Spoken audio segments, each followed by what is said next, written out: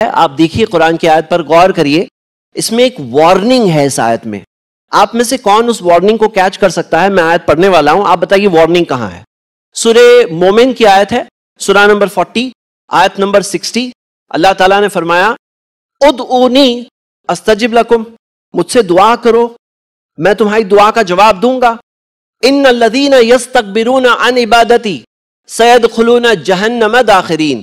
وہ لوگ جو میری عبادت سے تکبر کرتے ہیں، گھمنڈ کرتے ہیں، میں انہیں بہت جلد جہنم میں داخل کرنے والا ہوں۔ اب یہ آیت کے اندر دو باتیں دی گئی ہیں۔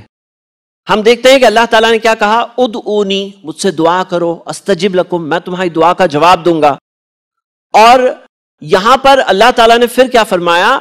ان الدینہ یستک برون ان عبادتی، جو میری عبادت سے تکبر کرتے ہیں یعنی کہ کس عبادت کا خاص ذکر اس آیت میں ہو رہا ہے؟ دعا کا ذکر ہو رہا ہے۔ نبی صلی اللہ علیہ وسلم نے بھی فرمایا دعا ہو العبادہ۔